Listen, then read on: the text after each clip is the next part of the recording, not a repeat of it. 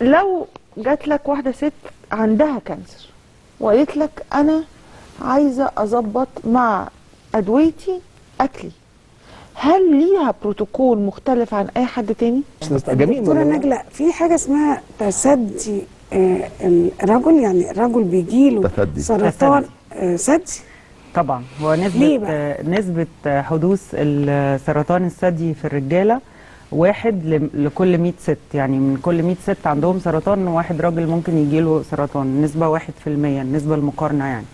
آه بنشوف حالات سرطان آه ثدي في الرجالة مش قليل. أيوه إيه آه، إيه الأسباب؟ التثدي الأول ما إحنا نقول واحدة واحدة.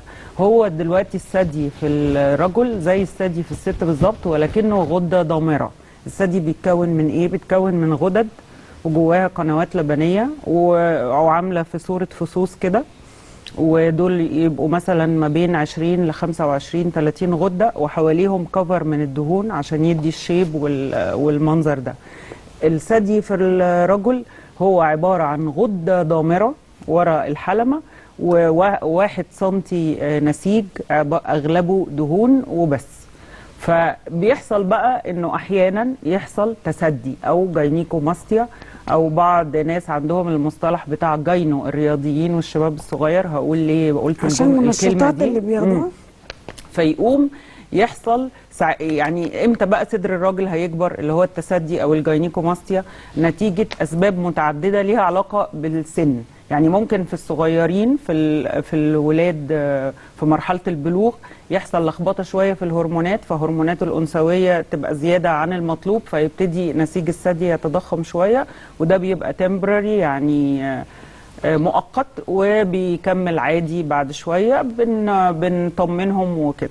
ممكن في سن أكبر شوية يبتدوا الولاد يروحوا الجيم الشباب بقى وعايز يعمل عضلات بسرعة يقوم ياخد مكملات غذائية. مكملات مش غذائية. حاجات في الجيم بياخدوها منها الكورتيزون.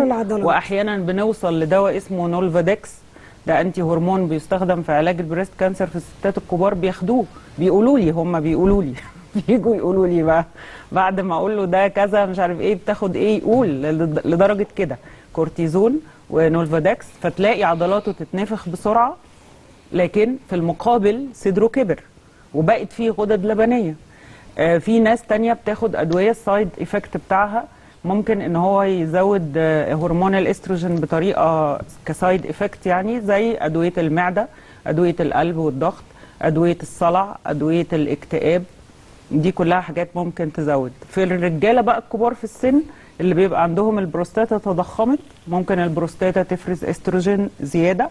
وفي المرضى آه، في بعض الأمراض اللي ممكن برضو تزود الاستروجين نتيجة إنه تكسيره في الكبد قل. الزيادة منه في الكبد آه، ما بقتش الكبد يقدر يتخلص منها في حالات الكبد اللي عنده تليف أو اللي عنده أي مشاكل في الكبد. كويس؟ ففي ناس كتير رجالة يعني في أي عمر من الأعمار دي ممكن يبقى عندهم التسدي. ففي بقى رسالة مهمة جدا إن هو مش عيب إن هو عنده ثدي. فمش عيب إن هو يجي يكشف وإن وسائل التشخيص في الحالة دي زيها زي الستات بالظبط. لو هو الثدي حجمه إحنا كلهم بنقدر نعمل ماموجرام لأنه ساعات تبقى الناس مستغربة طب ما هو بتبقى في ست صدرها صغير واحيانا flat. الماموجرام ينفع يتعمل ملوش علاقة بحجم الثدي يعني الأساسي جدا في ولا نوع التشخيص. الشخص اللي بيعمله. ده أساسي. في التشخيص الماموجرام لأن شكل التثدي الفرق بينه وبين ال cancer بيبان في الماموجرام كويس جدا أكتر من الموجات الصوتية. وبعدين بنعمل موجات صوتية ولو شاكين بناخد عينة. الفكرة بقى في التثدي ده إن هو إيه؟ إن هو بقى عنده غدد. هي الأورام سواء حميدة أو خبيثة بتيجي فين؟ بتيجي في الغدد مش في الدهون. الدهون بيجي فيها كيس دهني تكسير في الدهون كلام فارغ.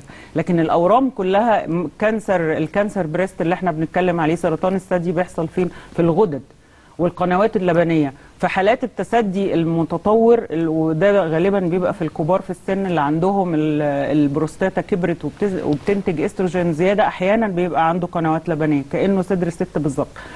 فوجود الغدد اللبنية بيخلي الاستعداد لل cancer بقى موجود. فإحنا لازم نكافح بقى ال- ال- التثدي آه، من أوله من يعني. اللي عنده في حاجات أسباب آه، مضطر يعني مش هنقدر نمنعها الأدوية المهمة بس برضه لازم الدواء يتغير باستمرار عشان ما يدخلش المهم إن. يبقى كل شخص بيسمعنا حتى لو عندك تسدي وعندك وجع فيه أو عندك الأعراض اللي أنت قلت ما تتكسفش إنك تروح تعمل آه دي حاجة مرضية ومش عيب. وبتتعالج وبنقدر نشخصها وكل حاجة